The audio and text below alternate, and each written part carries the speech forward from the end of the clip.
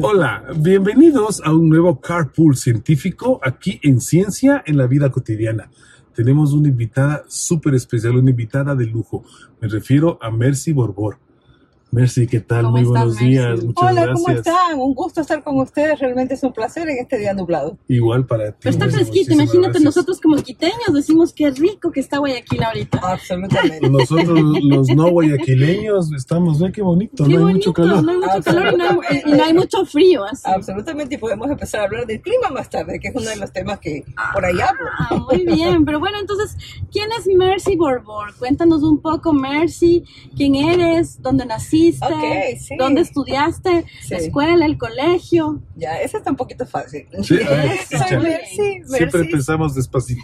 Claro que sí, soy Mercy, eh, soy guayaquileña, ¿no? Nací acá en Guayaquil de una curiosa mezcla de papá de Santa Elena, de la península, y de una mamá de Ambato. Ah, Entonces eso me dio a mí la oportunidad de conocer de, las, de la montaña a la playa todos los años y de disfrutar la, la- el diferente paisaje que tenía mi Ecuador y conocer muchísimo la comida, la gente, la cultura. Y luego pues creo que eso mismo me hizo a mí eh, apreciar esta, esto de la naturaleza y especialmente el océano. Entonces cuando llegó la hora de decidir, decidí estudiar oceanografía, porque el Ah, océano wow. me encantaba. Y la primera imagen que tengo es cuando era muy chiquita y nos íbamos a la costa en las chivas que se usaban para viajar. Las chivas viajaban la por chiva. la playa. Las que no tenían puerta. Exacto, íbamos con todo el viento en la cara, Ay, todos los niños ahí, eso. Y veíamos el mar ahí, era, era fantástico, yo con mis tres hermanos, hermanos, yo la única mujer, entonces era pues una, la tirana, la líder, la que dirigía Sí. las cosas, entonces vamos ahí y hacíamos nuestras travesuras. Entonces yo creo que de ahí nació ese gusto por los océanos, Qué por la naturaleza, que luego cuando llegué acá a la SPOL, donde yo estudié, realmente me fascinó. Tuvimos muchísima oportunidad de, mm, de cómo es, de, de, de hacer mucho trabajo de campo. Entonces Mm. estuvimos en la playa, estuvimos en, en, eh, en Santa Elena, estuvimos por Machala, tuvimos muchísimo trabajo de campo y eso hizo aún amar más esta, esta, esta sensación de libertad cuando uno se encuentra en el océano. Y de ahí para adelante, pues siempre he estado mucho, mucho tiempo en contacto con la naturaleza, he estado desde la Antártica. hasta ¿Estuviste zonas- en la Antártica? También estuve en Wow. la En la, Antártica. en la Pedro Vicente Maldonado. En la Pedro Vicente Maldonado. En el Orión viajaste. No, yo no viajé en el Orión, viajé en un este de estos aviones Hércules Ya. que cruzaron todo el, el estrecho de, de de Magallanes. Magallanes, claro. Así es, con un, un, este, un contingente militar de Brasil, de diferentes países. Qué pasada, Una experiencia espectacular. Mis respetos, eres la primera persona que conozco que ha estado allá en la Antártida de la Pedro Vicente Maldonado. Qué Sí. pleno. Sí, entonces Qué es un, es un poquito, contigo. ¿no? Como estar como con este con la naturaleza siempre ha sido parte de mi de proceso proceso. eh, de aprendizaje, pero también de apreciación, ¿no? Y tal vez porque podemos hablar un poquito más adelante de cuando aprendí muchísimo de mi Ecuador y de todas las áreas protegidas que, que tenemos. No, ¿para qué esperar adelante? Podemos, puedes irnos contando desde ahora. Bueno, pues entonces lo que sucede es que luego, en un momento dado, vi que si me gustaba la ciencia, tenía que estudiar un poco más, tenía que prepararme y tenía que además este, aprender a hablar el inglés, porque realmente el inglés es el idioma de la ciencia. The Yo science puedo- is speaking English. Así es, the Ujú. science is speaking English and we need to learn that if we Yes. want to go very serious in that. Entonces, este, decidí que tenía que buscar una maestría al menos y esa fue mi consigna. Así que empecé a buscar y tuve la oportunidad de aplicar porque era profesora contratada, ¿no? Acá en SPOL y muy jovencita yo en esa época, alrededor de unos eh, 28, 30 años, ¿Ya eras profesora aquí en Ya mi era profesora, sí. Entonces, este, apliqué a Fulbright. Mm. Ah, Y las becas Fulbright, Fulbright. sí, fue bastante bueno y me, y me ayudó a mí a salir. Entonces me fui a estudiar y en esa época empezaba toda esta onda verde. Entonces la onda verde decía que los programas que estaban dando oportunidades eran los de ecología. Mm. Y yo dije, bueno, ¿y eso cómo se ¿Y eso en qué año es? Eso estamos hablando de 1997. Ya, ya nos Ya. preocupaba la onda verde, pero no hablábamos de cambio climático todavía, ¿no? Todavía Porque no. Todavía no. Estábamos en la onda verde. Entonces, en Exacto. 1997 yo fui y decidí irme bien al norte, ¿no? Me fui a Syracuse, New York, a estudiar mi maestría con la consigna de conocer las cuatro estaciones. Ah, qué bien, ¿Qué pero te pareció ver Sí, cómo se hacen más cortos los sí, días los en días, la nieve. La Amé la primera vez que vi la nieve, la odié al cabo de los seis años. así como, no, otra vez nieve. Sí, Qué porque frío. la verdad que estuve en una ciudad que se llama Syracuse, ¿no? que es una ciudad universitaria, ahí hice mi maestría y el doctorado luego, y es la ciudad más gris de los Estados Unidos. Con mucho frío, con nieve hasta la rodilla, Madre ya, pero Dios. bueno, ese era el, el, el, el- el- ¿cómo se llama? El lugar perfecto realmente para estudiar, porque no había otra cosa que hacer. Yo me fui con mis tres hijos, Con ¿no? los tres Con bebés. mis Wow. tres hijos sola, mamá sola, con tres hijos, dos adolescentes, una de seis años, y emprendimos la jornada de la maestría y el doctorado. Oye, pero qué interesante porque en cambio sí. ahí es, eh, respetos, ¿eh? es claro, es empoderamiento de las mujeres científicas madres, ¿no? Así y es. migrantes, migrantes, madres, científicas que van. ¿Y cómo lo lograste?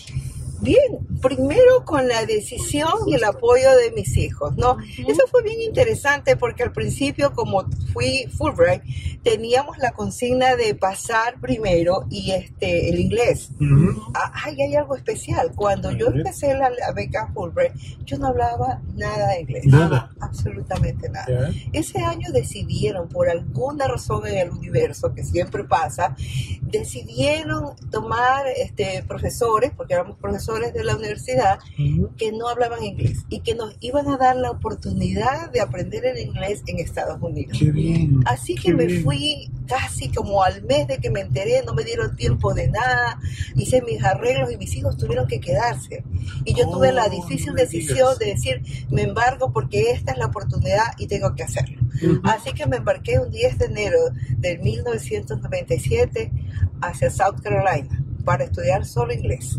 Y entonces estuve esos primeros seis meses, Wow. siete meses, Ujú. estudiando inglés literalmente día y noche. Día y y noche. tomando TOEFL como condenada, porque tenía que aprobarlo. Que aprobarlo. Así es, ¿no? Y mientras tus hijos tanto, aquí en Guayaquil? acá, con mis papis, con, sus abuelitos, Ya. ya, y entonces me contaba que mi pequeña, que tenía cinco años cuando la dejé, lloraba. Y yo no quería saber eso, ¿no? Pero decía, tenía que hacerlo. Claro. Así Claro. que bueno, los me dijeron, apenas termines los cursos y pases, puedes traer a tus chicos.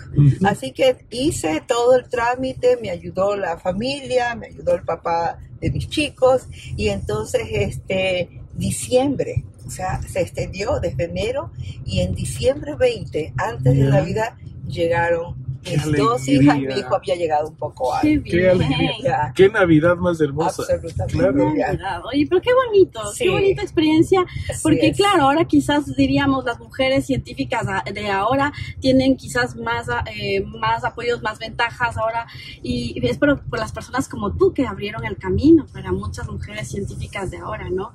Y, y eso da la pauta también para pensar de que no es un impedimento eh, de tener una familia, tener hijos, No. Este caso, Y nada. No es un impedimento no saber inglés. No saber inglés No, tampoco. es decisión y por Es eso cuando yo, mis estudiantes me dicen, especialmente las chicas, incluso los chicos me dicen, es que ya me casé, es que voy a tener un bebé y yo les digo, mira, yo tuve mi primer hijo a los 19 años, a los 19 años y mi papi estuvo muy enojado y me dijo, ya, no vas a poder hacer nada más.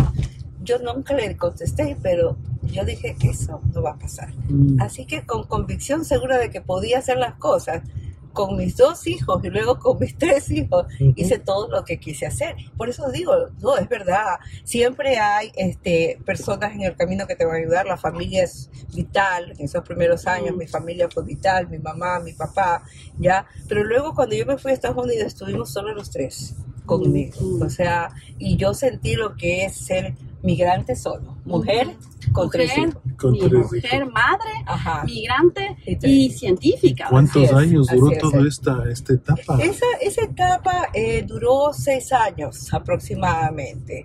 Y como yo era ya mamá con tres niños, dos adolescentes, y tenía más edad que la mayoría de los estudiantes de maestría, tenía más o menos un promedio como de unos 8 a 10 años más que Ya. mis colegas, ¿no? Mis este, co- colegas. Pero nos llevábamos súper bien y como yo era la mamá, digamos, con- Ya. entonces mi casa era el sitio de reuniones, venía gente de toda parte de América Latina, Brasil, lindo, ¿qué Chile, es? Colombia, México, eh, eh, adoptamos algunos alemanes. Las también fiestas interculturales en tu casa. Así es, ¿no? Y era, eso, Adoptamos eso unos fue alemanes, bien dice. importante desde el punto de vista del apoyo, de una red de apoyo este, social, de confort, de, de- de fines comunes, de familias, porque muchos de, mis de mis, de mis eh, colegas en esa época eran familias como yo.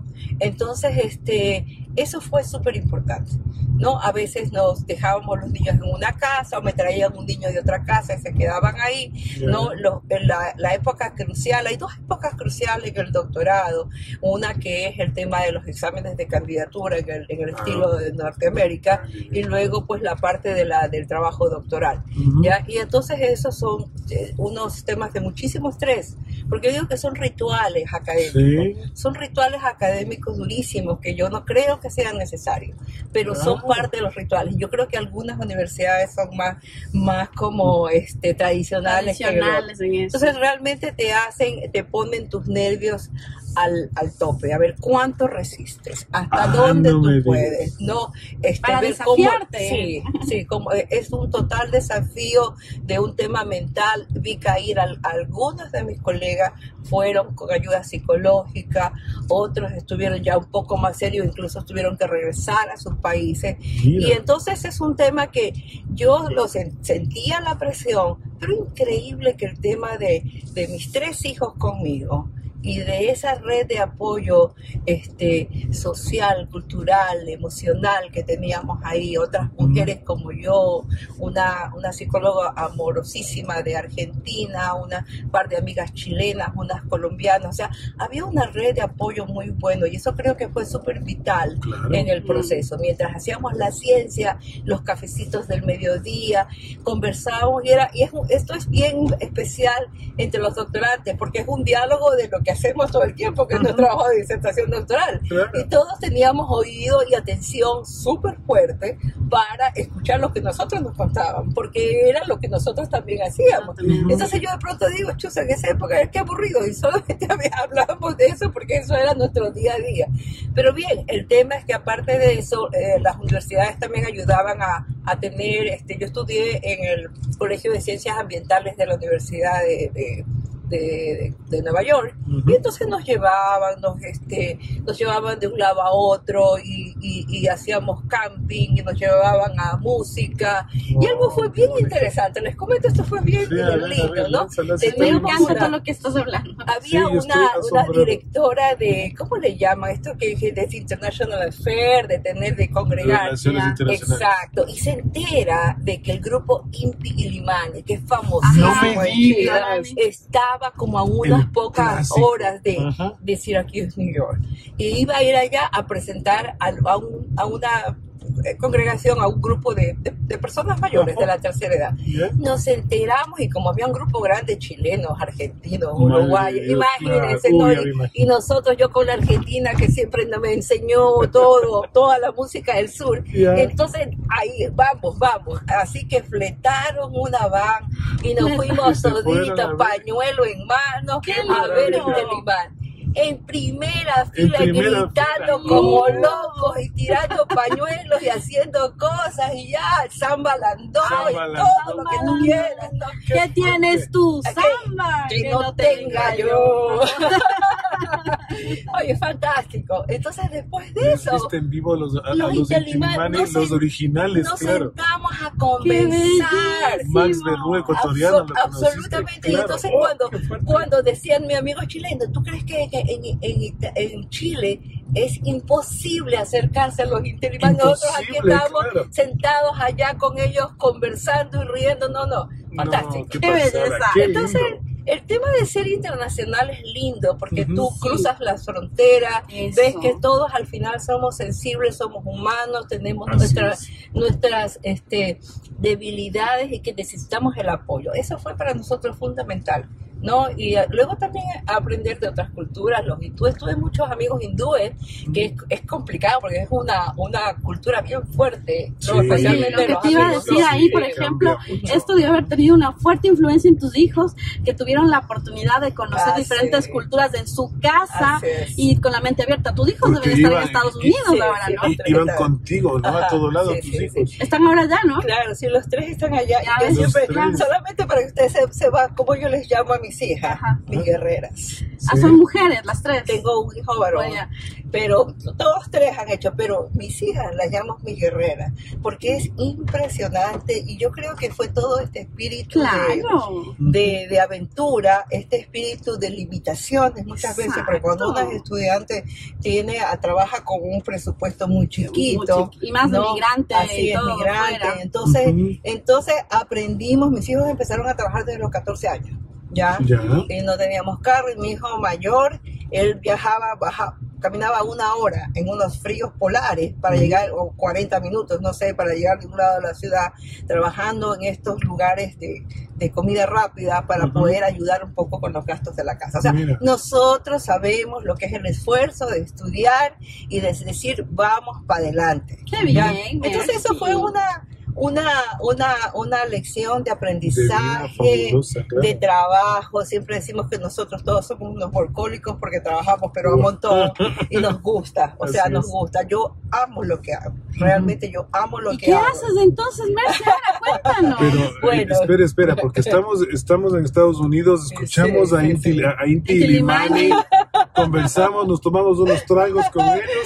¿Cómo llegamos a la Messi del 2022? Exacto, Bueno, sí. sí, primero ya nos, tomamos las últimas empanadas con vino en jarra, ¿no? ¿verdad? Y de ahí le dijimos, esto fue, yo logré terminar mi doctorado un miércoles, un miércoles, un viernes estuve este, viajando para Ecuador No me y el digas, día lunes estuve trabajando en el municipio de Guayaquil. Ah, Así Guayaquil. de rápido fue, Así, digamos, mi... así, trin, mi- cambió. y esta situación ¿Y tus hijos se volvieron contigo o se quedaron ya? Solamente la pequeña. Ah, Solamente la la pequeña. Mis dos hijos ya eh, empezaron a estudiar, sacaron sus propias visas, ya entonces hicieron su propia vida porque ya era ya mayor de 20, entonces ya Mm. Solo la pequeña regresó conmigo, que ya empezó a caminar conmigo de un lado a otro y eso también la hizo muy, Muy guerrera, muy dices. guerrera, muy exploradora, Muy open mind. muy querer ver el mundo, ¿no? Entonces, este, regresamos a trabajar y claro, yo con mi mente de ciencia vine a hacer administración pública a nivel de la ciudad. ¿Qué me cuentas? Entonces Eso sí fue fue un cambio de la noche total. al día. 180 grados. Más, Entonces total, así. vine como jefe de control de ambiental de la ciudad de Ah, pero Guayaquil. mira qué Ya. lindo cargo también. ¿En qué año fue Sí, esto, eso Messi? fue 2004 al 2005. Ahí Ya. empecé. Ya, y como yo era Fulbright, tenía un compromiso de que apenas terminaba, o sea, yo tenía que cumplir dos años de home eh, requirements. Yo tenía que regresar dos años. Dos años menos. Ajá. Ya, entonces yo dije, eso no lo voy a esperar. Yo termino mi doctorado y me regreso a trabajar a Ecuador. Yo me buscaré Sí. Trabajo y haré lo Me que busco tenga que la hacer. vida. Así es. Pero yo tenía justamente en este network interesante que uno hace cuando estudia afuera. Eso es muy importante. Sí, uno de nuestros colegas, ¿no? Que ahora también trabaja justo en Ecuador, tiene una posición importante en la CAF, ya me invita porque era el director de ambiente y me dice, ven a trabajar, vamos a trabajar juntos, ¿ya? Ya. Y así vine y entonces eh, aprendí, eso fue fantástico, Esa, esas Ujú. lecciones, yo trabajé dos años exactamente en el municipio de Guayaquil y tuve la oportunidad de aprender las dificultades que tienen las empresas que quieren hacer, cumplir cosas ambientales cuando a veces la tecnología, la ciencia no es bien manejada. Y yo me di mucho, muy, muy veces, muchas veces cuenta de que ellos invertían, pagaban especialistas, consultores, pero no había el suficiente conocimiento, no lo manejaban bien. Y por ejemplo, hacer un tema de plantas, plantas de tratamiento para ciertas empresas se convertía en una odisea, simplemente porque las personas que iban no tenían toda la capacidad y el conocimiento para Técnica, resolver. Correcto. Entonces, a veces eso es lo que digo, hay que mejorar, yo estoy convencida de que hay que mejorar el nivel de todos los que hacemos en todo, en la ciencia, en las instituciones, en las escuelas, porque si elevamos ese nivel, todo va a funcionar mejor, ¿no? E ir inculcando también temas de ética, de, digamos, de transparencia, que es súper importante. Entonces, eso, esos dos años que estuve ahí fue fantástico. Otra experiencia que tuve ahí, que eso me marcó, me marcó ahí, es que cuando yo estaba ahí como jefe de control ambiental, venían las personas de la Trinitaria, las mamitas, las mamás, y me decían, este, doctora, así me decían, ¿no? Doctora, este, mi niño se enferma nuestros niños se están enfermando, oh, tenemos este problemas, tienen eh, problemas respiratorios, son las plantas de estas de térmicas, estas termoeléctricas, decían. Y yo escuchaba, escuchaba, ¿qué puedo hacer? ¿Qué puedo hacer? Aparte de que se iban a hacer las mediciones y todo. Entonces, como mi cabeza de ciencia, dije, yo tengo que hacer algo, debo de investigar. Empecé a escribir una propuesta, ¿no? Para tratar de entender qué es lo que pasaba con los niños, con las plantas de tratamiento, con esa zona en la, en la Trinitaria. Y justo salió en esa época una convocatoria del IDRC, que es el International Development Research Center de Canadá, que quería justamente este enfoque de, de ambiente, salud y sociedad. ambiente, salud y comunidad. Entonces yo miré lo que ellos querían y armé una propuesta la propuesta salió ganadora.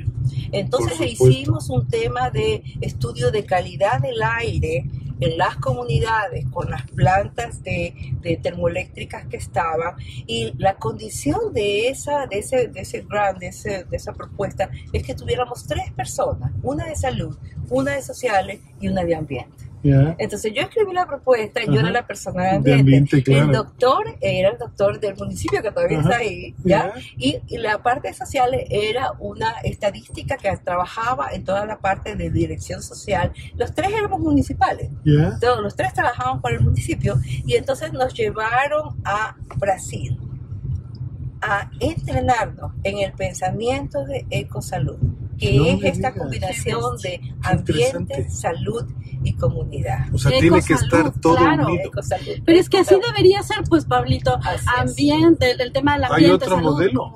Sí, ahora hay mucho, mucho. Ah. Cada vez la visión es más sistémica, está comiéndonos a toda la ciencia y es importante, porque antes la ciencia era bien disciplinar y todavía hay disciplinas y tienen que ser, pero también tenemos que pensar en una visión sistémica. Ahí entra el One, el one, el one Health, hay el One Health, hay el Global Health, hay el Planetary Health, ¿no? Entonces todas estas cosas lo que hacen es integrar diferentes perspectivas sociales, ¿no? Este, ecológicas, ambientales, económicas, para tratar de ver cómo podemos resolver. Estas visiones sistémicas fueron parte también de mi formación, por cierto, porque yo estudié algo que se llama Systems Ecology, ecología de sistemas, donde nosotros lo que hacíamos es mirar el sistema océano, el sistema eh, bosque, pero mirábamos todo lo que estaba alrededor, de ellos y buscábamos su relación. Los flujos que entran. Así, en energía. Esto es Asian-based models.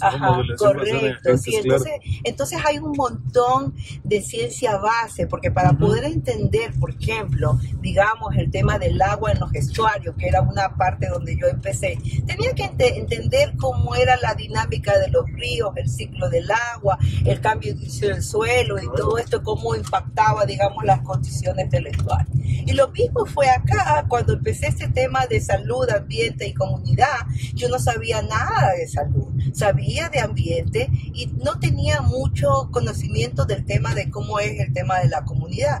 Lo que vi que era importantísimo en estos temas del ambiente, estudiamos el ambiente, sí, queremos entender si hay contaminación, por qué viene, dónde viene, pero ¿para qué? Era lo que decía mi profesor, siempre decía, so what? So what? ya, entonces, ¿para qué estudias el ambiente? ¿Será porque quiero saber que hay más contaminación aquí y allá? No, tengo que saber esa contaminación, a quién le está impactando, quién está pagando el precio de algo, porque alguien gana, alguien Alguien pierde. pierde, sí. Entonces ahí en ese, en ese, en ese, en ese enfoque de ecosalud, ecohealth, entonces nos empezaron a mirar cómo interactuábamos, cómo teníamos que mezclar métodos muy analíticos de laboratorio, incluso con métodos sociales, los temas de empezar a trabajar con comunidad, Claro. este grupos Claro. focales, entrevistas, encuestas, y, el, y es maravilloso para mí el contacto con esa primera comunidad que tuve. Realmente me hizo avisorar, y yo siempre digo, yo empecé en los ecosistemas ecológicos y naturales. Y estoy ahora casi, digamos, avanzando casi al- a, mi señor y al final de, digamos, de mi vida, digamos, profesional y, y- no, no digamos que al final, pero No, estoy bien avanzado. Está cerca de la Ya, jubilación. sí, sí. Entonces, entonces el tema es que ahora estoy más convencida de que si en las ciencias sociales no podemos realmente hacer un trabajo bien en la parte ecológica ambiental. Claro. Convencida. Y donde los temas comunicacionales son claves, porque uno Así tiene que es. aprender a comunicar a la audiencia como al tomador de decisiones y al otro científico. Y cada audiencia teníamos un lenguaje un poco diferente. Claro, ¿verdad? Veces hablamos Entonces, y no nos entendemos. Exacto. claro. Entonces, ese periodo fue maravilloso para mí porque ahí empecé a articular estos temas de salud y ambiente. Y es ahí cuando, ¡pum!, yo apliqué a un postdoc y voy a parar al Centro Nacional de Investigaciones Atmosféricas en Boulder, en Colorado. No, Qué hermoso. qué pasado. Boulder, Colorado, Un hito claro. para mí mundial. Yo Es el, claro, uno de los no, yo no sabía exactamente a dónde iba. Cuando No. yo llegué allá, Ajá.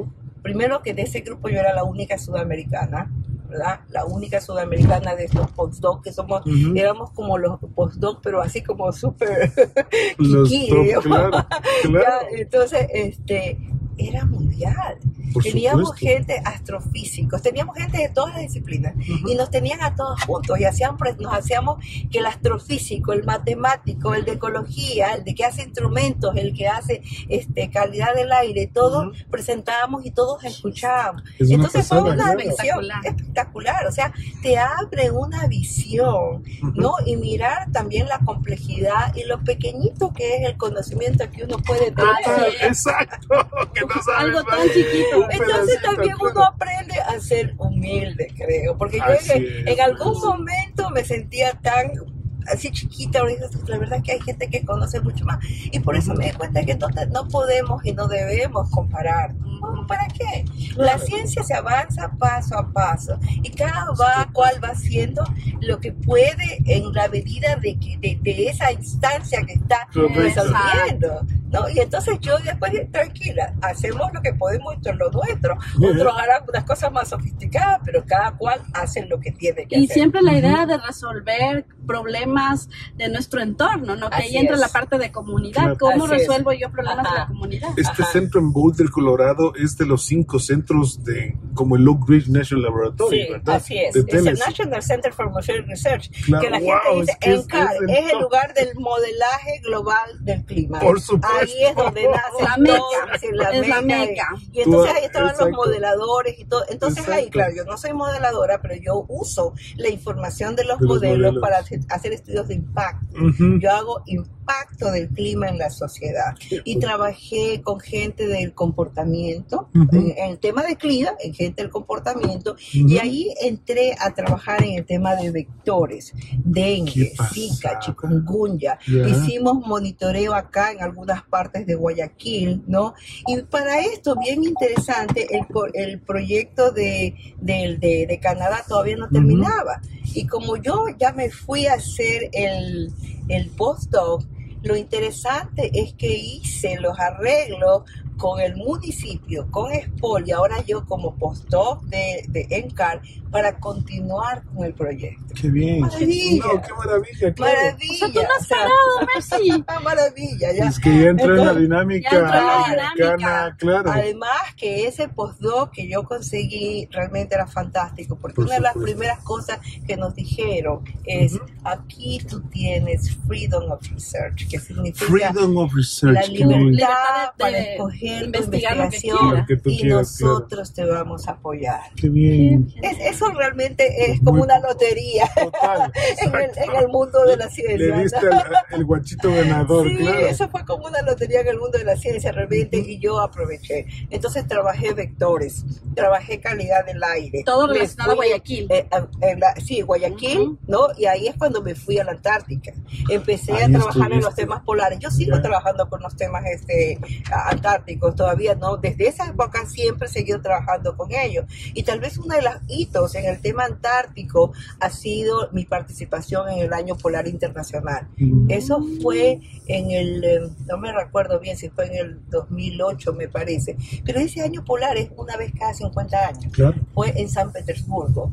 Espectacular, de, esas reuniones de ciencia Que te topas, que uno claro. te dice, wow, gente de todo el mundo, y me tocó a mí ser chair de una cosa maravillosa Wow. que se llama, la, o sea, se llama, era la parte de las dimensiones humanas en el tema polar. ¿Ya? Y donde se estudiaba el comportamiento de la gente en las bases, estos temas de aislamiento que también te producen un poco lo que vivimos con la pandemia. ¿Cuán largas son las distancias? Cuando llegas a la Pedro Vicente Maldonado, ¿cuán larga es la estancia ahí? Bueno, nosotros no, no nos quedamos mucho, puede ser un mes, dos Ya. meses, los que más se quedan son tres a cuatro meses, que es los que llegan en la avanzada y se quedan hasta el final. Ajá. Pero las dos veces que estuve en la Antártica, las dos, Dos veces que estuve en la Antártica. ¿En qué años? ¿En qué años Eso estuviste? fue en el año 2007-8, justo al recibir el año en la base Machu Picchu en Perú Ujú, y al ujú. Siguiente año en la Pevi- Pevima, en la Pedro Vicente Maldonado. tuvimos unos este, eventos de así súper fuertes Claro. de, de- de susto. Yo dije, aquí llegó Mercy, hasta aquí nomás. Porque con ese es el clima inclemente Es que que cosa, cambia, claro. que de un día para otro y que estás en el agua, donde Ajá. estás a la merced de, De lo que el océano y el claro, clima te haga. Eres un No, papel en esas es. olas, claro. Entonces, pero bueno, no era el momento, así que sobrevivimos, fue, pero fue un momento de mucho susto porque realmente era el, el rigor del clima, la- el frío que tiene. Sabes que si te quedas mucho tiempo en el frío, peor si te caes al agua, tienes cuatro minutos y te quedas. Estamos No, no hablando de que menos Ajá. 20, menos 30. Sí, no, no era tanto, pero ¿Ya? sí era bajo cero. Sí era bajo cero. Era bajo cero. Ajá. Es que yo no sé si es que hay dos científicos ecuatorianos que han repetido la, la, la PEVIMA. Yo creo que eres tú la única, Mercy, me Yo parece. estoy do- dos veces, creo que sí hay otros. ¿Qué si hay otros? ¿Los conoces? Dos veces. ¿Tú? Mm, Este, Tú sabes no lo difícil sé. que es ir para allá. Sí, ¿no? es complicado. Complicado. Es complicado sí. No es que te suben nomás al barquito. claro. Vamos, venga, Sí. súbase, No, vamos. y dos vamos. veces, Sí. maestra. Bueno, con- con- continuando en el tema este de mi camino a la ciencia, entonces ya entré a trabajar en la parte de administración pública, me regresé a la ciencia, ya me enganché con estos temas de sociedad, De comunidad, comunidad. eh, y ahora y, y entra también el tema climático. ¿No? En- en- empieza en el tema climático y luego, ¡pum!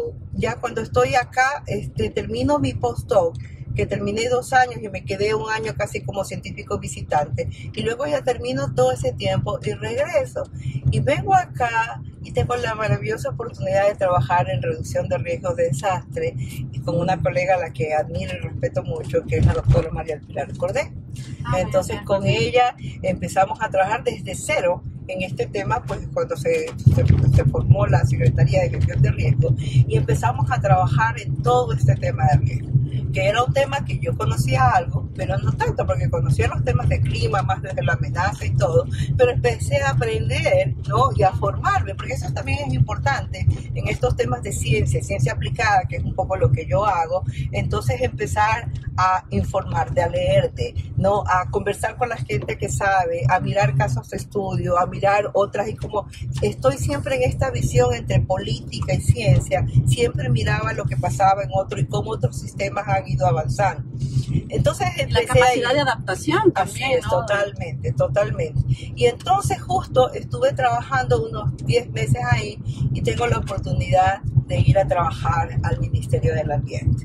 Entonces, el Ministerio del Ambiente me llamaron para ser la viceministra de Ambiente en esa época y me fui. ¿Qué año estamos hablando, Estamos hablando 2010. A 2010. Estamos con una ex viceministra, entonces Ya. mira. Y el tema es que me fui sin dudarlo, porque No esa era mi formación.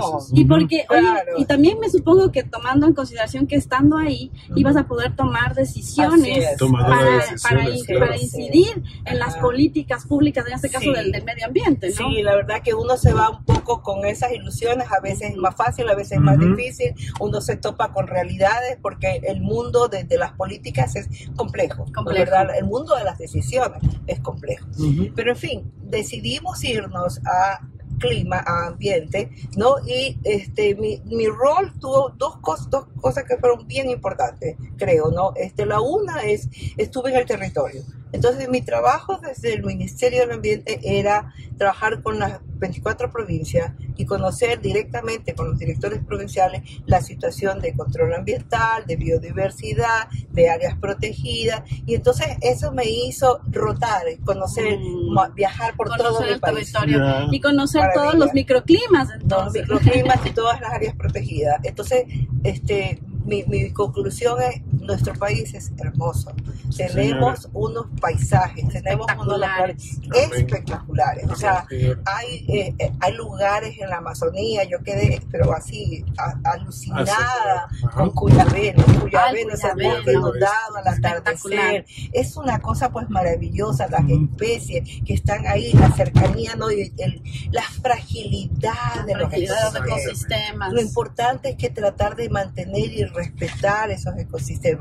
El Parque Sangay es una maravilla. Uno se pone ahí arriba y mira el Sangay con El- todas sus lagunas y, todo. Es espectacular. O sea, realmente yo digo, no, después por eso obtuve la oportunidad y cada vez aprecio más la belleza de Ecuador, de su gente, de cómo uno va mirando cada, eh, que- cómo, cómo las comunidades se, se des- desarrollan en cada uno de esos entornos, ¿no? Y esto es lo que nosotros llamamos los sistemas socioecológicos.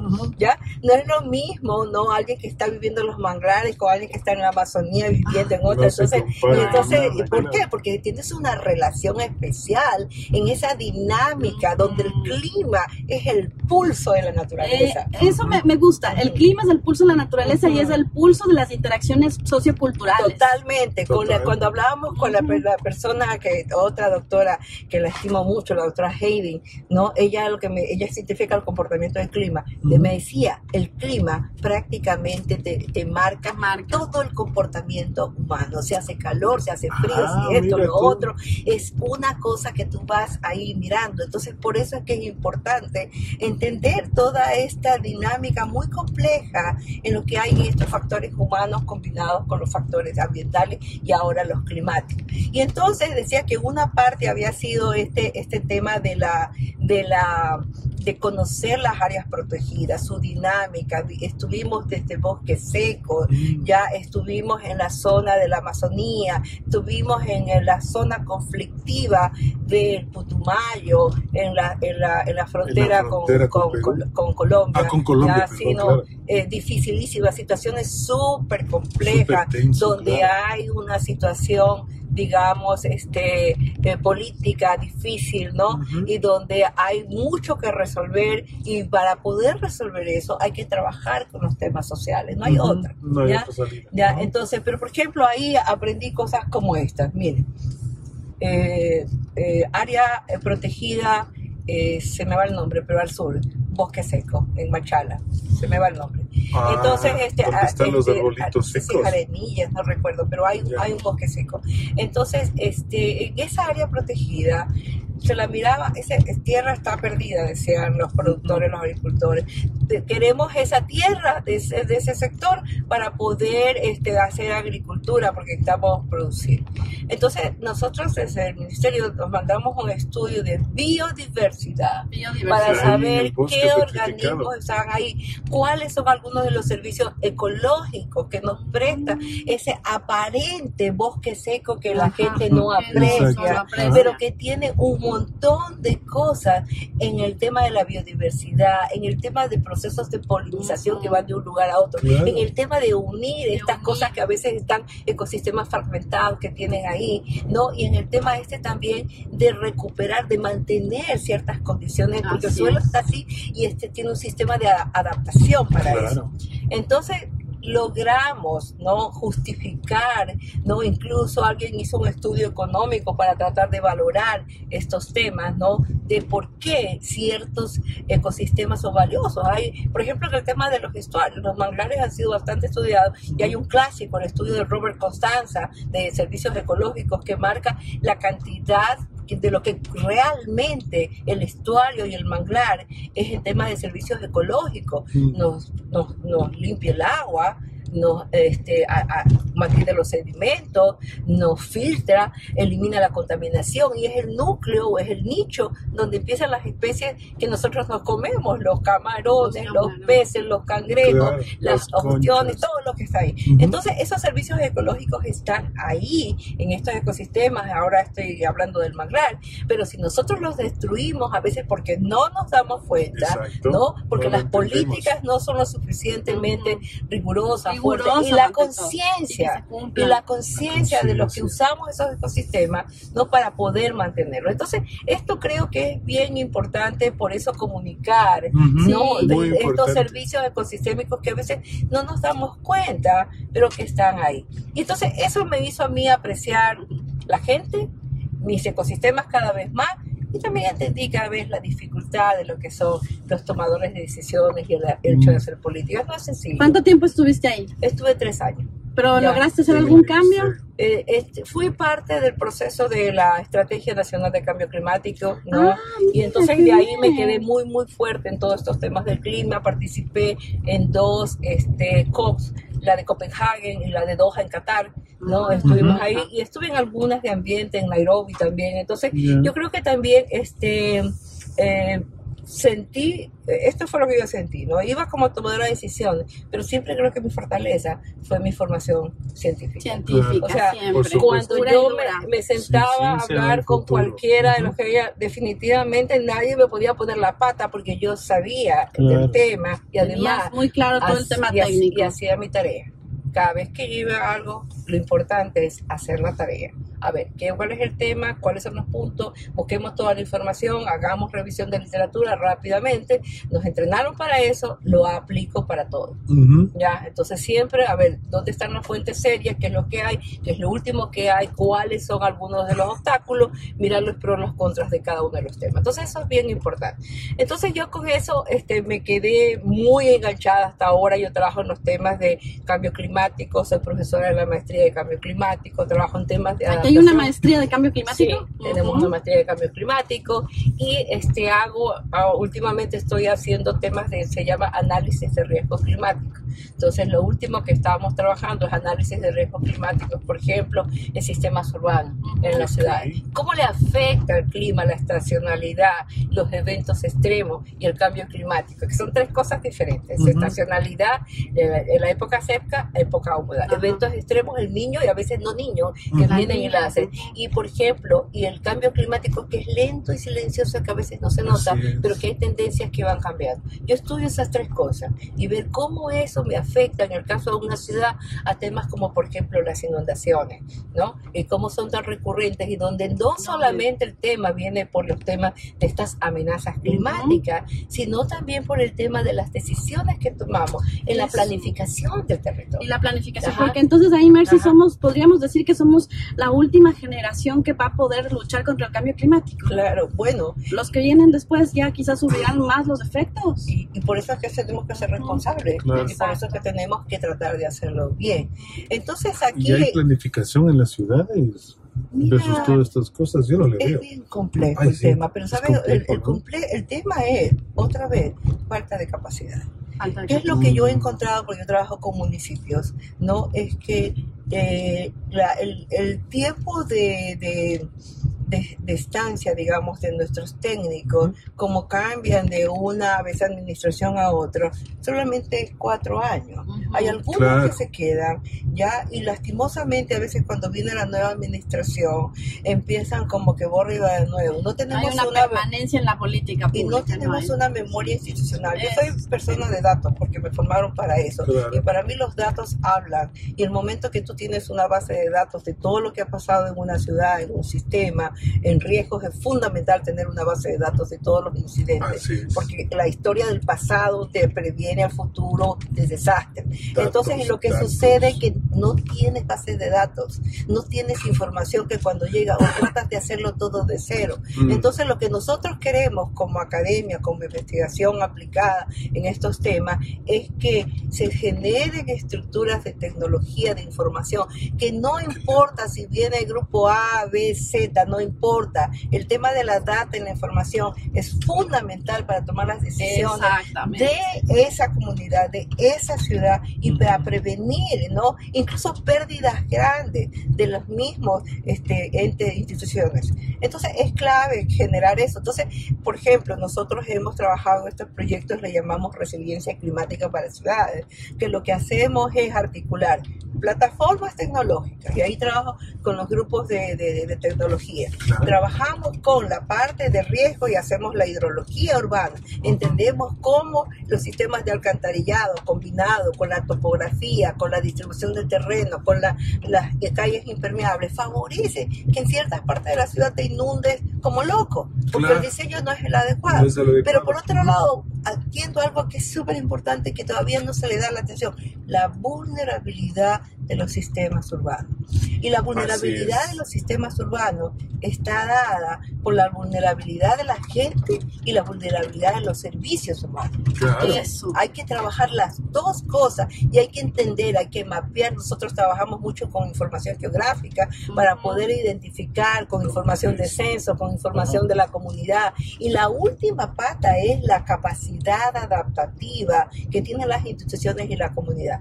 Y en estos temas de cambio climático, en estos temas de desastre, es súper importante que la comunidad, la sociedad esté totalmente envuelta y sea capaz de saber cuál es el De riesgo. hacer su parte. De Exacto. hacer su parte. Yo no estoy parte. sentado ahí esperando que, Que me llegue la salvar. política pública para hacer algo. No. Tengo que, y la mejor, lo mejor que puedo hacer eso es organizarme. Organizarme. La organización con- de la casa, de los barrios, de las pequeñas Mira, comunidades. hemos revisado casos por todo el mundo, buenas prácticas. Mientras más autonomía de la comunidad y procesos de organización y de comunicación importante entre los entes de las instituciones y la comunidad, oiga, y las mujeres, Exacto. un rol fundamental. Qué maravilla. Justo estoy escribiendo Qué un tema del tema de vulnerabilidad por Ujú. temas de salud en emergencia y yo pombo. Que lo que hay que fomentar es identificar todos aquellos grupos de mujeres que ya están trabajando en diferentes cosas. A veces es nutrición, a veces es eh, o sea, literacia como es alfabetización, los temas que sean. Pero encontrar esas capacidades, porque esas mujeres son el motor de núcleos urbanos que van a ayudar a generar, digamos, estos temas de poder. generar estas sinergias, generar estas sinergias y generar también la organización a nivel casa, a nivel barrial, a Ah. nivel comunitario para hacer los cambios. Así es. Oye, Mercy, ha sido realmente una entrevista en la que El yo he aprendido un montón. ha volado, sí. Oye, bueno, y aquí ya estamos terminando nuestra entrevista y siempre les preguntamos, ¿cuáles son tus recomendaciones de qué comer en Guayaquil? Bueno, tú ya tan cosmopolita, pero ¿cuál es tu comida favorita? Mi comida favorita, yo creo que me quedo con el encebollado y el ceviche. Sí. Ay, el guayaquileño. Sí, súper guayaco, sí. Y de comida internacional, Oh, la Thai. La Me Thai. encanta la comida tailandesa. Me ¿Y encanta ahí la dónde, comida dónde tailandesa. conseguir buen Thai aquí en Guayaquil? ¿Sabes que no he tenido ¿No? la oportunidad? No, en Bangkok sí. y bebidas, bebidas, eh, bebida soft y bebida, una, una bebida, un licor para tomar. Bueno, yo creo que me quedo con una, ¿cómo se llaman estas que tienen la sala arriba? Eh, Eh, con las margaritas. Las margaritas. Ah, una margarita, el tequila. O las micheladas. La claro. michelada. Sí, Ah. me encantan esas porque por, por el calor debe ser. Y ¿no? música, ya sabemos que la Intilimani. Ah, sí, sí, sí. ¿Qué sí. otra música? Oh, yo soy clásica. Me Sí. encanta Vivaldi. eh, Ah, muy Sí, bien. barroco, me encanta el barroco. Por cierto, yo soy arquitecta también. Mira, eres ese es otro carpool. ¿no? Sí. Sí, sí. Ese es otro carpool que nos cuentes Y estudié esto. música toda mi, mi juventud Qué cuando era de colegio. Sí. Qué pasada. Sí, Y bueno, sí. al final te vamos a dar cinco palabras y tú nos respondes con cinco palabras. Una palabra te da la Sofi y lo primero que te venga de emoción le respondes con chévere. otra palabra. Muy interesante. Estados Unidos. Ah, casa, Ah, sí. el océano. vida, El cambio climático. desafío, La administración pública. complicada, Ser científica. amar eso, Ah, y, y datos necesarios. necesarios. Muy bien, muchísimas gracias. Ujú. Estuvimos con Mercy Barbour. Tú eres, tú eres profesora investigadora de la carrera de marítima, de la Facultad Sí, Marítima. De la Facultad de Ingeniería, de, de- de Ingeniería Marítima y Ciencias del Mar. Y soy investigadora del Centro Internacional del Pacífico para la Reducción de Riesgos de Desastres. Gracias, Merci, por, Ujú. por acompañarnos de aquí en Ciencia en la Vida Cotidiana, Sí, en este chicas. científico. Y nada, agradecerles a todos quienes van a seguir ¿Cómo te esta interesante entrevista. Ajá. ¿Dónde te encuentran? Twitter, Instagram, Facebook. Eh, en Facebook. En Facebook No estás. tengo Twitter. Deberías abrir un Twitter para ir hablando sobre temas del cambio climático y compartiendo tus datos para que la Tengo gente... mis issues al respecto. Lo. You have Pero some bueno. regrets about Twitter. Pero, pero sí, estoy en Facebook y tengo correo. Y, Ya está. y sí, estamos bien. Y alrededor de una taza de café, lo Perfecto. Está todo. Bueno, entonces pueden seguirnos a nosotros como Pablo Araujo y Sofía Cabrera Spin Sí. en Facebook, en Twitter, en Instagram. Y nada, esto fue otro Un capítulo. carpool científico de ciencia en la vida Nos cotidiana. vemos en el próximo programa. Adiós. Muchas gracias. Gracias. Gracias.